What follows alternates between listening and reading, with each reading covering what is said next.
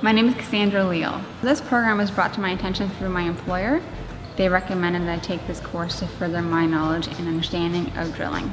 The program definitely met my needs. I'm now able to go back to my employer with better knowledge on the directional drilling uh, application and design. The best part of the program, in my opinion, is definitely the hands-on and classroom collaboration between the two. So I can learn things in the morning and then go in the afternoon and use a drill and see how it works in the, in the field to to understand of how exactly it would work in real life. I would definitely recommend this course to anybody in the civil engineering field. I think that drilling is probably our future application of infrastructure and that's probably where things are going to go. So the more people that are knowledgeable in this area of expertise, would be better.